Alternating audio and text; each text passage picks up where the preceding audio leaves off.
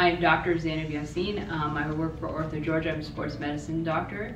Um, so I want to talk a little bit about meniscus tears. So sometimes someone gets injured if they've had a squat or a fall or a twisting injury and you can have uh, a lot of pain, especially on one side of the knee or the other side of the knee.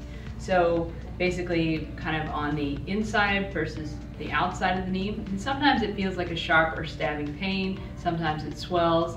It can happen in all ages really from 10 or so all the way up to 90.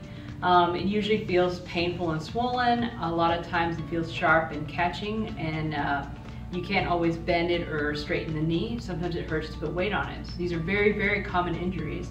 Most of them don't need any extensive treatment, but we start with icing it or heating it, anti-inflammatories.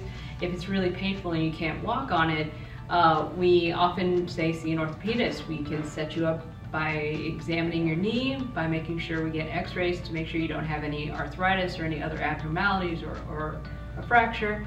Um, after that, we usually set you up with physical therapy or an anti-inflammatory. Sometimes an injection can really help calm it down. Most meniscus tears get better without any surgery, but if it's still hurting and our basic tricks don't work, we usually get an MRI to make sure that there's nothing more serious going on. If it has a meniscus tear and if you don't get better, um, the last ditch effort is really surgery where we can try to fix the meniscus with stitches or we can trim it out depending on who you are, how old you are, what, what needs you have.